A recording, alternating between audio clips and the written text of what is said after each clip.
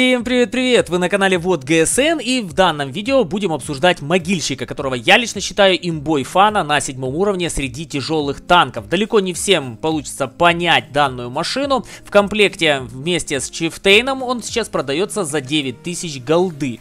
И если вы не понимаете могильщика, если вы не понимаете игру на седьмом уровне, если вы гоняетесь за статой и вам обязательно необходимо зарабатывать максимум серебра по результатам боя, то могильщика вы однозначно не поймете, и он вам однозначно не нужен. Ну а если вы расцениваете танки в этой игре так, как расцениваю я, и вам необходимо, чтобы машина по результатам боя оставляла у вас исключительно позитивные впечатления, то тогда могильщик однозначно вам подойдет, и за 5000 я бы смело его в таком случае покупал. На свой твинк я его однозначно куплю, потому что 5000 он действительно стоит. Я даже думаю, что он стоит и дороже. Ну а что касается основного аккаунта, то он у меня давно на основе, и я прям нарадоваться не могу этой тачке. Плюс к тому стоит отметить, что за 5000 вы получаете открытое все оборудование, а больше к могильщику ничего и не надо, потому что ему не нужен легендарный внешний вид, он и так им обладает, и вы не можете его ни в коем случае поменять, а, ну и вы можете только добавить какой-нибудь интересный обвес. У меня стоит вот этот вот старый обвес еще с тех времен, когда машина заходила в игру, тогда и обвес этот появился. Можно было бы одеть на него очень красивые крылья ночи, но 9 ну, господи, 975 голды для меня это все-таки дороговато. Я лучше эти денежки приложу к какой-нибудь другой тачке, которую поставлю себе в ангар. Что собой могильщик представляет, сейчас попробую объяснить. Ну а дополнительное видео по могильщику обязательно добавлю в описании к данному видосу. И поверьте, у меня их очень много. Обожаю эту машину и очень часто на ней играю. Что касается орудия. Здесь орудие на целых 6 снарядов, которые вылетают оттуда менее чем через каждую секунду секунду. При этом барабан очень бодро перезаряжается всего лишь за 11 секунд. И при уроне каких-то мизерных 90 единиц за выстрел вы получаете суммарный ДПМ в 2260 единиц. Это действительно очень круто на седьмом уровне. Против восьмерок, безусловно, играться будет сложно. Время сведения и разброс очень комфортные. Это заценим с вами непосредственно в самом бою. Что касается всего остального, то здесь особо хвастаться нечем. Потому что здесь, ребят, угол склонения орудия вниз минус 5. Это действительно очень сложно отыгрывается на неровностях. Ну и что касается касается пробития, то против семерок более чем достаточно, против восьмерок очень сложно. Короче говоря, могильщик чисто фановая тачка и исключительно для восьмого уровня не подходящая, а на своем седьмом чувствует себя прям сухо и комфортно. Что касается брони, да, здесь есть серые зоны, но в то же время машина неплохо забронирована, если опять-таки находится исключительно на своем левеле, там где ей в принципе и место. Ну что, берем тачку и погнали в бой. Ну что, Поехали, мы против шестерок и семерок, в принципе наша стихия, если все будет хорошо, если нас нормально поддержат, то я думаю, что мы сможем получить массу удовлетворения. И, что самое хорошее, мы сможем немножко накосить урона. Как видите, скорострельность у орудия просто бешеная, на дальних расстояниях, безусловно, отыгрывается сложно, здесь я не буду врать и рассказывать, что это прям снайпер, но если вы стреляете и успевает орудие сводиться перед следующим выстрелом, то и на дальних расстояниях вы можете качественно отыгрывать. Понятное дело, что с учетом времени сведения после каждого выстрела на дальних расстояниях э, будет сложновато отыгрывать, не дожидаясь полного сведения орудия. Ну что, попробуем еще раз. Ну вот эти вот минус 6, это действительно, ну, не то чтобы беда данной машины, но к этому необходимо привыкать. Вот сейчас, стоя здесь на горке, мне пришлось существенно слезть вниз, для того, чтобы можно было выцеливать. Что касается времени перезарядки магазина, то я уже успел перезарядиться. Вот такой вот он быстрый в этом отношении, действительно очень комфортный. Поехали, попытаемся поддержать наших ребят, которые почему-то стоят и никуда не едут. Наверное, очень сильно боятся тяжелого танка, хотя не знаю, правильно ли это. По-моему, они втроем могли вполне спокойно сейчас вкатить туда, ну и, соответственно, немножко там повеселиться. Так, ну вот видите, что происходит на дальних расстояниях. Разброс увеличивается, ну и, соответственно, ваша скорострельность э, по принуждению, скажем так, сразу падает. Наконец-то, наконец-то ребята решили вкатить, э, заехать и сделать неприятно. Хотя герой нашелся только один. Итак, мы опять перезарядились, начинаем отстреливать. И вот, вот эта бешеная скорострельность меня и подкупала всегда в могильщике. Ну, просто-таки мечта. Мечта пулеметчика в нашей игре. Дракула молодец. Дракула свалил куда подальше. Думает, зачем оно мне надо? Там сейчас как заедут, как наваляют хорошенько. Не буду я там находиться, не надо оно мне. Возвращаемся назад. Э, счет 4-3, к сожалению, к сожалению, продавили. Мне там оставаться смысла никакого не было.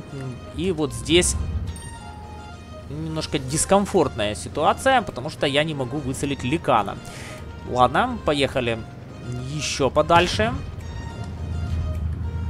Так. Ай-яй-яй-яй.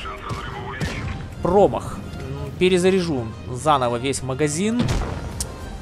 Да, поторопился. Надо было не перезаряжаться. Таком случае я бы сейчас по Ликану уже отбрасывал. Так, голда мне в помощь. Ликан против нас действительно забронирован. И придется немножко пожертвовать серебряндей. Проиграли. Проиграли по очкам, но немножко постреляли и плюс к тому сделали один фраг. В целом, машина очень классная, очень интересная, и даже вот в таких проигрышных боях, э, может кто-то будет удивлен, но она все равно оставляет по себе приятное, хорошее впечатление. Мне лично заходит. Наша результативность вообще практически ничего не делая, 1500 округляя единиц нанесенного урона, один уничтоженный соперник. Фарм смотреть не буду, во-первых, потому что проигрыш, во-вторых, потому что это коллекционка, которая не предназначена для того, чтобы фармить. Ну и, как вы видите, абсолютно спокойно занимаю второе место в своей команде по нанесенному урону. Рандом в данном случае разорвать не получилось, но и такое тоже бывает. Из своих видео ничего не вырезаю для того, чтобы вы видели исключительно правду о машинах, которые выставляются на продажу. Ну что, поехали еще одну каточку сделаем.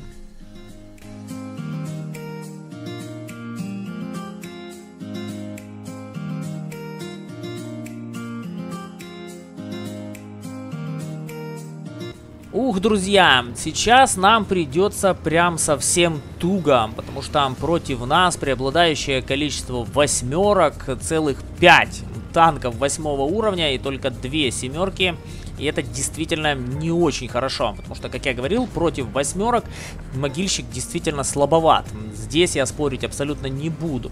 Но и такое, ребят, тоже встречается, и вы попадаете с машинами выше уровнем. К этому тоже необходимо быть готовым, ну и, соответственно, данная катка сможет показать вам, на что могильщик способен, если вы будете играть против ребят выше по уровню. Поехали. Поехали вместе со всеми. Попытаемся им помочь настолько, насколько сможем. Мне почему-то кажется, что я сейчас буду желанной мишенью, потому что, понятное дело, что с семеркой справиться гораздо проще, нежели с восьмеркой. Зачем он туда сейчас так взорвался нагло, не совсем понимаю.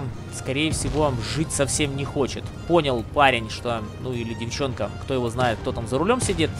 Понял, что ловить нечего, и решил покончить жизнь самоубийством. Мог немножко подождать, может сделали бы чутка побольше чего-то. Так, давай я на тебе пока сконцентрируюсь. Так, ай-яй-яй-яй.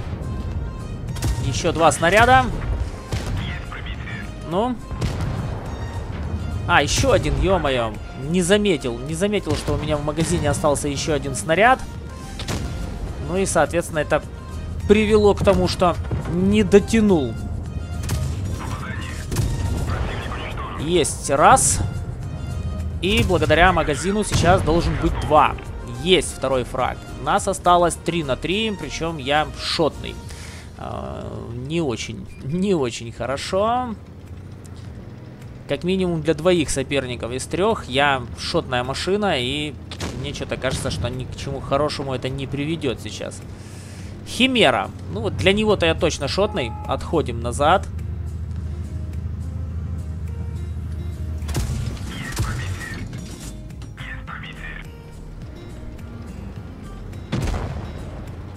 Так. Да, ну 700 единиц урона я ему навряд ли сейчас нанесу.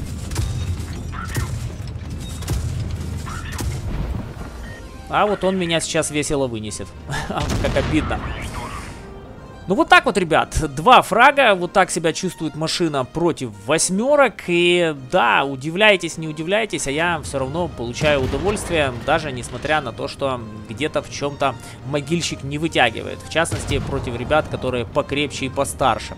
Досматриваем результаты боя, ну и, соответственно, будем подбивать итоги.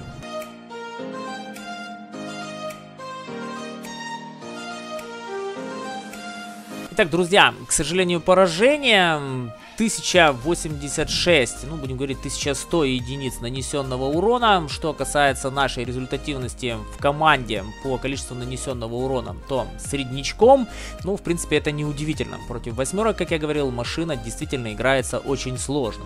Давайте теперь будем откровенно говорить по поводу могильщика. Это не имба в понятии среднестатистического танкиста. Среднестатистические танкисты считают, что имба это та машина, которую очень сложно победить.